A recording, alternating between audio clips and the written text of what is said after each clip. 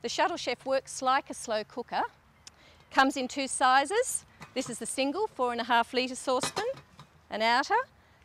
And then we have a six litre outer that has two three litre saucepans. We're going to use the two three litre containers for cooking the curry today. So as I start to heat that saucepan up, simply add a little bit of oil.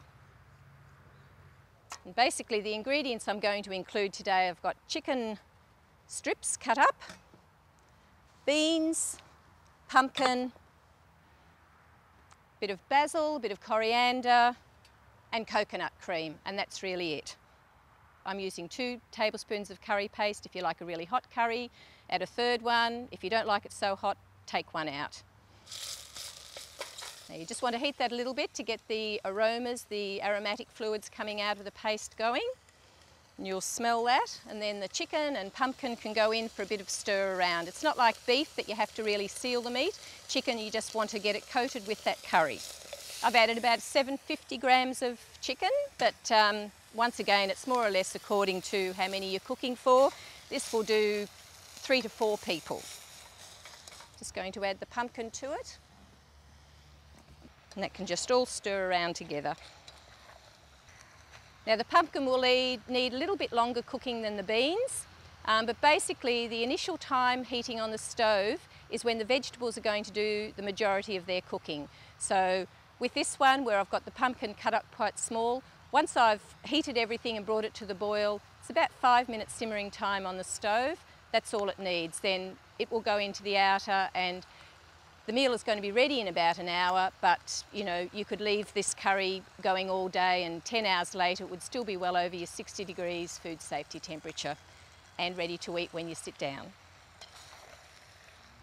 Now, once you've got your curry well and truly coating around your chicken and your pumpkin, a little bit of fish sauce is what gives the real Thai flavour. About two tablespoons I'm putting in. And one teaspoon of sugar, which just seems to bring out all the other flavours. Okay, now I can add the curry cream into there, the coconut cream. This has come to the boil and I've turned it right down because you don't want the chicken boiling too fast or it's going to toughen it.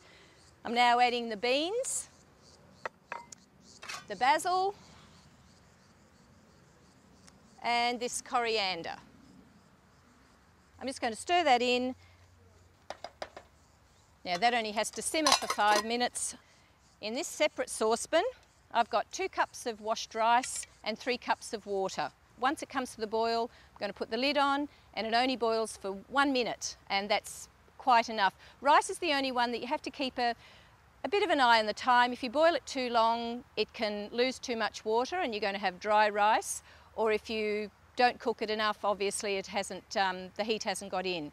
But um, providing you just cook it for around the minute, you've got rice as good as any rice cooker is ever going to do. Now that's been simmering for its minute. The chicken and curry, it's only going to simmer for five minutes. This is going to take about the same time. But if the chicken cooks longer, it really doesn't matter. It just means you're using a bit more energy, but it's not going to wreck it. That can now stay in there. Next step will be eating. Geez, where'd you get that tit for Ruthie? That's a bit ordinary. It's not like old roadkill here. Oh, God, mate, compared to roadkill, this is swish. Hey, talking about swish, are you hungry? You bet. Come and get it, boys. All right. Oh, yeah. Oh, yeah. Thank you. Good on you, Lindy. Oh, wow. Gee, mate, this beats waiting for you to catch a fish all day long. Why do you always bring up fish? Because you never catch any, Gil. Because you don't get fish with Thai chicken curry. Oh, God, damn good, Lindy. This is beautiful. Not bad for on the road.